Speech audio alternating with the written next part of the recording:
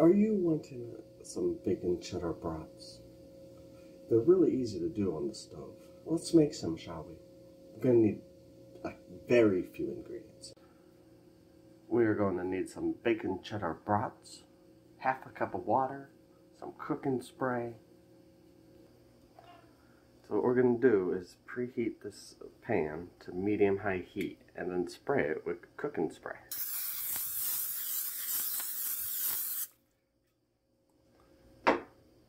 We will then take our brats and put them in our pan. Give a nice sizzle here.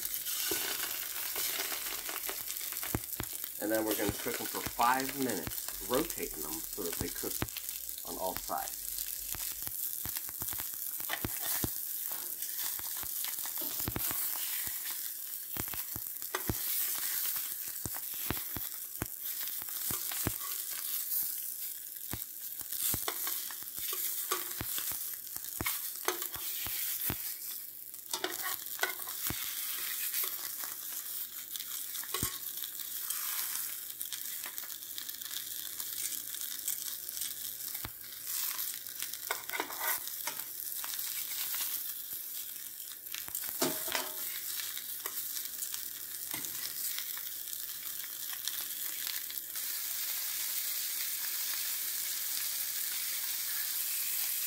After we've browned the sausage on all sides, we will add our half a cup of water.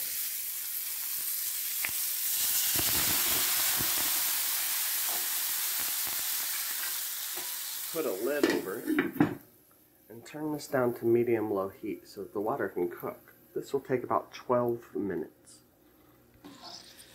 After five or after 12 minutes, your brats will be fully cooked and they'll come out looking like this and be yummy in the tummy. I hope this helps. If you could leave a like and a comment, it would help a lot. I hope you enjoy your brats and have a great night.